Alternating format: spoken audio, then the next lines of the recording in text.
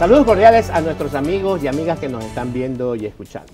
Esto es Mesa de Análisis, Agricultura y Desarrollo. Soy John Eloy Franco Rodríguez, presentador de este espacio. Hoy traemos un tema muy interesante con relación a la actividad ganadera, conforme hemos abierto esta posibilidad de hacer entregas semanales impulsando esta actividad.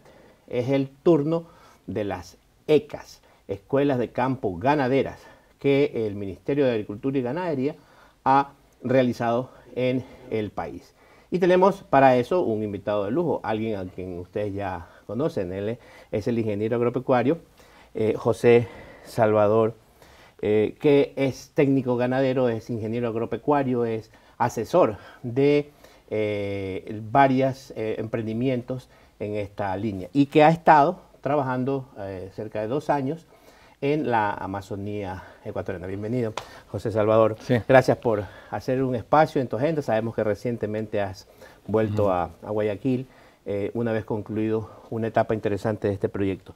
Pero, ¿qué, son las ECAS? Nos gustaría que nos, comentes un poco al respecto. Sí, este, bueno, muchas gracias, ingeniero, también acá por la invitación. Eh, me es un gusto volver acá a este espacio, ¿no? que fue mi casa, la Universidad Católica de Santiago de Guayaquil.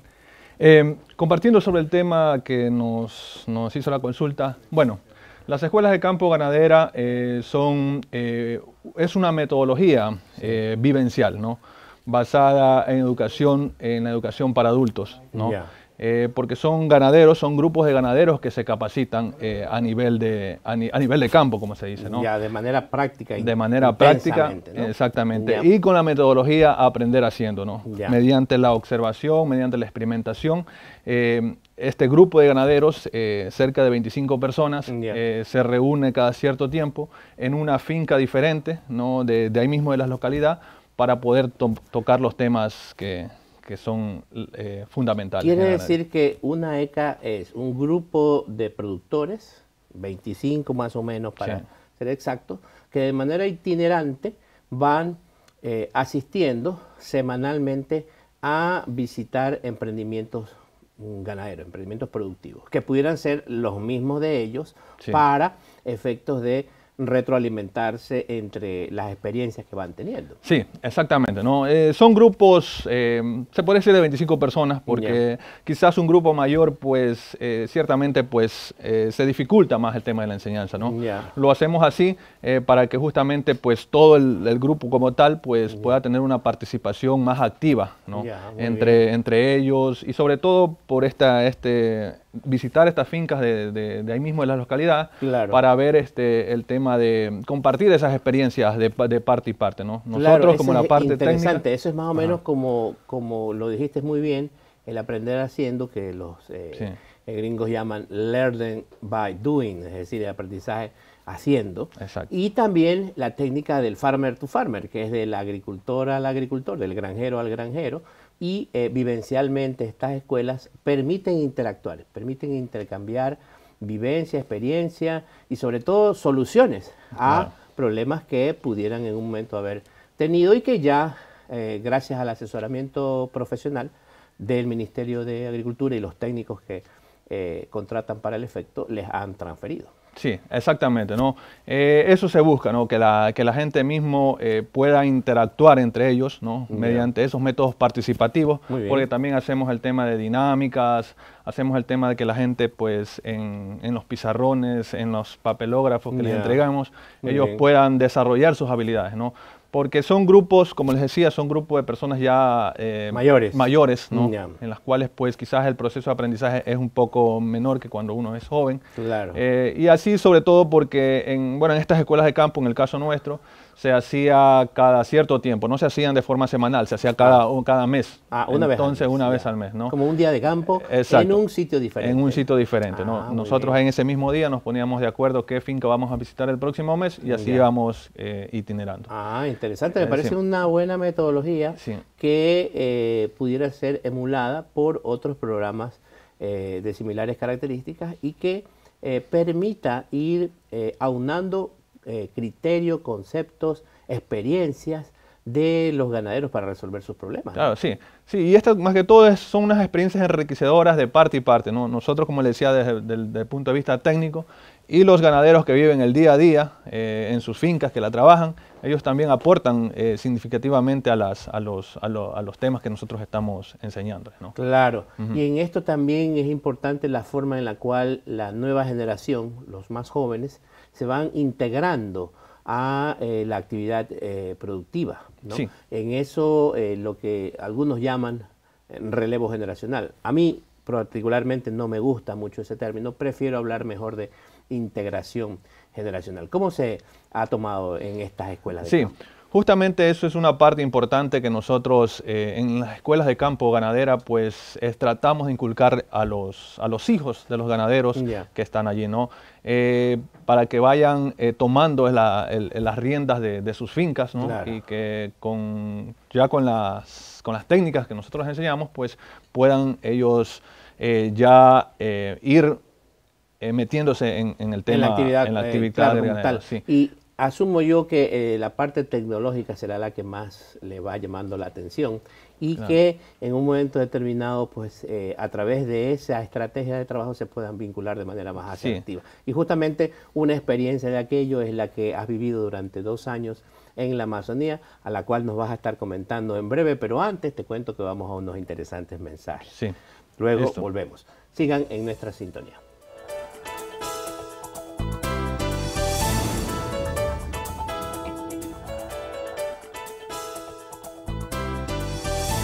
Gracias por seguir en nuestra sintonía. Seguimos con más de nuestro programa interesante dedicado a las ECAS, las escuelas de campo ganaderas, con nuestro invitado especial, el ingeniero agropecuario José Salvador Solórzano. Él es asesor ganadero, es técnico especialista en esta actividad eh, productiva. Salvador, es importante que eh, tengamos la posibilidad de que esa experiencia que eh, mm, van teniendo los diferentes eh, productores y que los van, eh, digamos así, que intercambiando persona a persona, ganadero a ganadero, de forma itinerante, al mostrar su, realidad productiva, eh, deviene en un crecimiento importante del potencial de la actividad. Esa integración de la nueva generación a través del uso de la tecnología y entiendo también el tema de género es visto en esta expectativa. Hemos eh, tenido referencia de que has estado dos años trabajando en la región amazónica, eh, justamente en una, en una ECA, compartiendo tu experiencia. ¿Podrías comentarnos al respecto? Sí, bueno, eh, haciendo un poco de reseña de lo que el trabajo que estuvimos haciendo allá. hace dos años se inició un proyecto, un programa de capacitación a nivel de toda la Amazonía ecuatoriana, en la cual pues el CATIE, el CATIE de Costa Rica, pues contrató mis servicios como consultoría, ah, en la cual pues em, Estuve eh, como técnico de campo en la provincia de Morona, Santiago. Estuve yo encargado de eso. Eh, este proyecto eh, tuvo como objetivo capacitar a más de 3.500 ganaderos de la región amazónica. 3.500 ganaderos de las seis provincias de la Amazonía. y básicamente esa, esa capacitación, que, ¿en qué ejes estaba fundamentada? este, bueno, para, se dieron ejes, cinco módulos, cinco módulos de enseñanza, de los cuales pues eh, nosotros, bueno, yo era el encargado de dar la parte técnica primero a, siete promotores, siete promotores, o sea, como un formador de formadores. Exactamente. Un curso previo para eh, atender eh, a las personas que interactuaban en, las o comandaban los pequeños grupos, ¿no? Sí, exactamente. Eh, bueno, a mi cargo estuvieron siete profesionales, podríamos decir así, de allá de la región oriental, en los cuales, bueno, nos capacitábamos cada mes, ¿no? Luego hacíamos la réplica entre nosotros y de ahí, pues, estos promotores eran los encargados de impartir las enseñanzas en cada escuela. Eh, nosotros en la provincia de Morona Santiago, en el primer ciclo, bueno, se, hicieron dos ciclos, dos ciclos de capacitación para poder cumplir con este objetivo. En el primer ciclo que se realizó en el 2021 tuvimos 25 ganaderos y más de 450 personas que perdón, 25 escuelas y más de 450 ganaderos Personas integrando las escuelas. Sí, en los diferentes cantones, los 12 cantones que tuvo la, que, tenía la provincia de Morona Santiago. Y el año pasado, pues, eh, tuvimos una mayor, mayor acogida. Eh, tuvimos 38 escuelas y cerca de 515 personas que se capacitaron. Ah, muy bien. y eh, esto es interesante ver que eh, este programa tenga la posibilidad de poderle hacer seguimiento a eh, esos, esas personas que ya han recibido la, inducción. Vemos que hay unos materiales que se generaron a partir de esta consultoría de Katia y, y por Amazonía. ¿no? Sí, exactamente. Y que esos eh, eh, documentos les sirvan de retroalimentación permanente también al, a los ganaderos. ¿no? Vemos que eh, es importante el tema de esas buenas prácticas, el tema del uso de los, de los registros, que están concentrados en este, en este manual, que eh, se generó a partir de la posibilidad o la interacción de esta capacitación. Vemos que es un material mm. que eh, está diseñado académicamente a efectos de que los ganaderos puedan tener una mm, retroalimentación permanente, materiales que van a permitirles a ellos eh, el detalle del análisis de toda esta eh, información técnica para que puedan acreditar de mejor manera sus, emprendimientos. Sí, exactamente. Bueno, eh, una parte del proyecto también consistió en la entrega de incentivos no monetarios. ¿Qué quiere decir eso? Es, eso? es entregarles insumos, herramientas que los ganaderos necesitan en sus fincas en base a sus necesidades. Claro. Entonces, eh, había que cumplir ciertos, porque como es escuela de campo, también había que cumplir ciertos temas de asistencias y, bueno, requisitos que, para poder acceder a estos incentivos. ¿no? Claro. Eh, ¿En qué consistían esos incentivos? En el tema de cercas eléctricas, alambres de púas, eh, silos, tanques para silos. Claro. Cierto, cierta implementación de determinados accesorios, equipos que eh, sin ser eh, de un alto importe económico, sí le significaban sustancialmente al emprendimiento mejorar en cuanto a su producción y productividad. Sí, entonces esa es una parte importante porque lo aprendido de estas escuelas, pues estos ganaderos pues lo van a poner en práctica con lo que ellos mismos solicitaron en su momento, ¿no? Claro. Eh, también es importante el tema que usted acabó de mencionar, ¿no? El tema del seguimiento que se le debe hacer a, claro, porque eso es importante, al, programa, ¿no? Claro, así es. Eh, ese seguimiento lo, lo, va a realizar a través del Ministerio de Agricultura, ¿no? Con los técnicos ellos van a seguir capacitando, van a seguir este dando asesoría a, las, a estas fincas para que ellos puedan este, continuar con, este, con, estas, con estas iniciativas. Claro, y en ese sentido el hecho de que tengamos siempre eh, un, proceso de, un poco de, evaluación de, lo que se ha enseñado, de lo que se ha compartido y del seguimiento que tenga eh, hacia futuro la posibilidad de que mm, puedan ya los ganaderos per se generar propuestas de cambio para mejorar su productividad. Y justamente es la temática del tercer y último bloque al cual te invito a, continuar luego de unos interesantes mensajes. Adelante con ellos.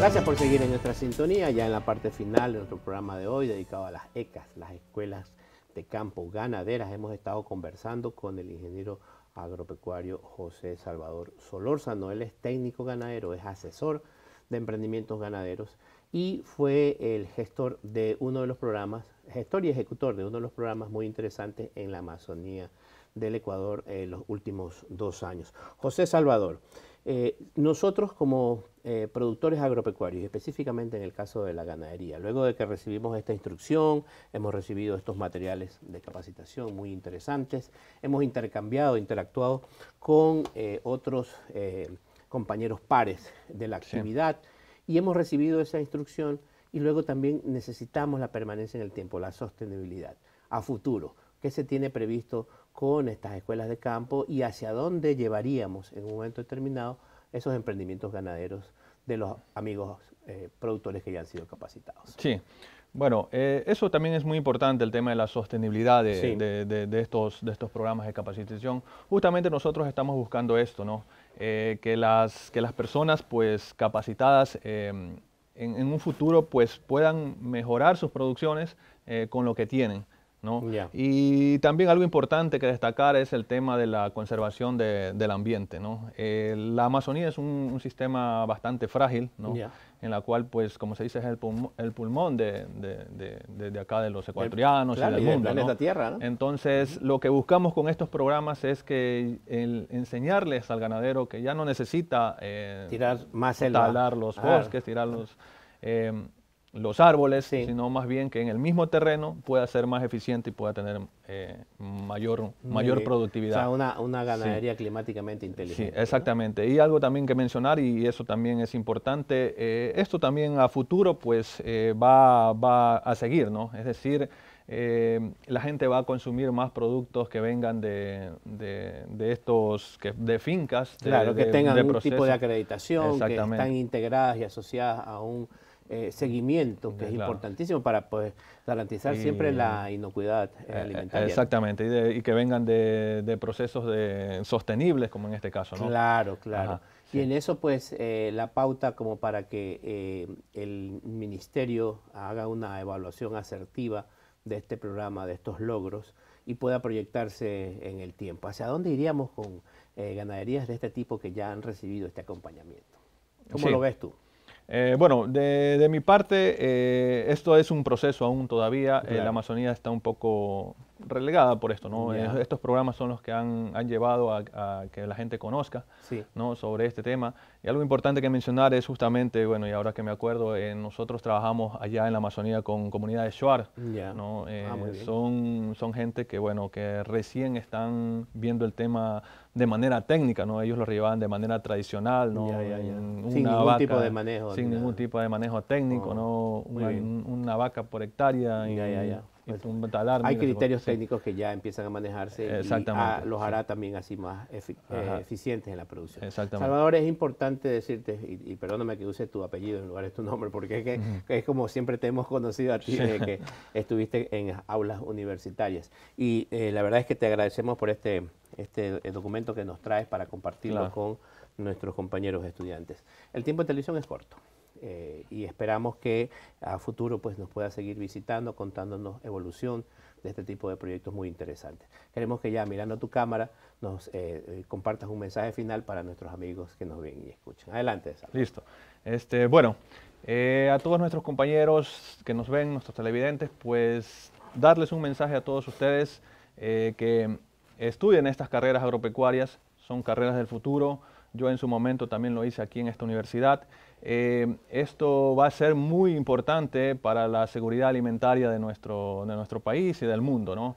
Esta es una carrera que va a tener mucho, mucho acogida en los próximos años y, bueno, los invito a que estudien acá en esta universidad. Muchas gracias. Han sido las palabras del ingeniero agropecuario José Salvador eh, Solórzano técnico ganadero, especialista en eh, la ganadería climáticamente inteligente, sostenible y que eh, tiene una experiencia práctica muy interesante luego de estos años de participación en este programa muy interesante realizado en la Amazonía del Ecuador de la mano del Ministerio de Agricultura y Ganadería. Gracias a ustedes también por esos me gusta en las redes sociales y esas llamadas y correos que llegan hasta nuestro departamento de producción. También recordarles que aún continúan abiertas las inscripciones hasta el día 23 de, de, mayo eh, para estudiar las seis carreras eh, que hay en la Facultad de Educación Técnica para el Desarrollo, agropecuaria, agroindustria, medicina veterinaria, telecomunicaciones, electricidad, electrónica y automatización. Soy John Eloy Franco Rodríguez y esto ha sido Mesa Análisis, Agricultura y Desarrollo. Que estén muy bien. Muchas gracias.